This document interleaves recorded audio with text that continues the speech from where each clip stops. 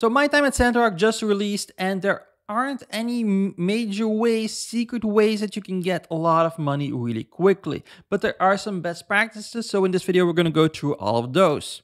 Now the very first one is basically by doing commissions. Now every day you can get one commission, so just go to the Commerce Guild's house, whatever that's called, and just go to the board and get a commission. Now at the beginning of the game, you are only going to get access to one commission per day, but keep getting them and keep finishing them every day and you're going to get a lot of relationship points and a lot of gold.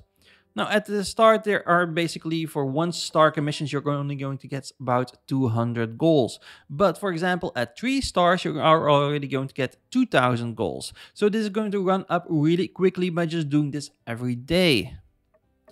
And the second way, a really easy one, is just by completing missions. Now, don't just complete the main campaign missions, they are going to reward you with a steady stream of gols, but also do the side missions. Side missions are also really interesting because when they well, they are going to teach you a lot about the game and they're also going to give you a lot of relationship points and about 200, 300 gols per mission. So just keep doing them every time you see this little question mark pop up in the minimap at the bottom right. So just go to that location, go talk to the NPC, get the mission completed, and well, you're going to make a lot of relationship points and gols.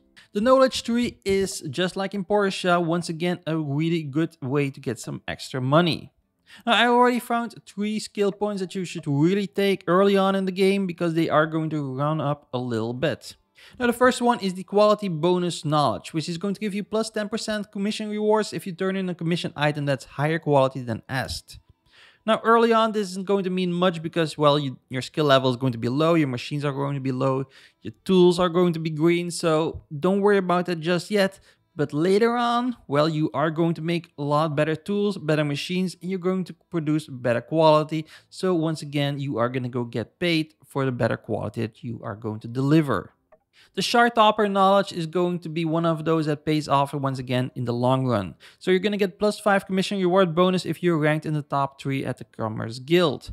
Now every few days, in-game days, they are actually going to reevaluate all the builders in Sandrock and they are going to place them kind of on a ranking. If you are one of the top 3, you're going to get extra plus 5 commission rewards, so that really makes it worth it in the long run. Now the quick delivery knowledge is going to be more interesting at the very start because you're going to get plus 5 commission rewards bonus if you complete a commission the same day it was issued. So basically if you turn in the desired item the same day that you took the commission, well, you're going to get paid a lot more.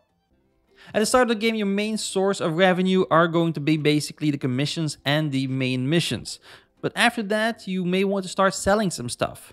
And you should basically never sell some raw resources.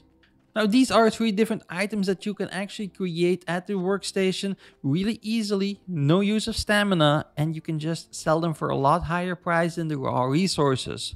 So right now I have the stone thrower, the grinding saws, and the tin threads. These are things that you can make from the very start of the game and they will sell a little bit more than the base resources.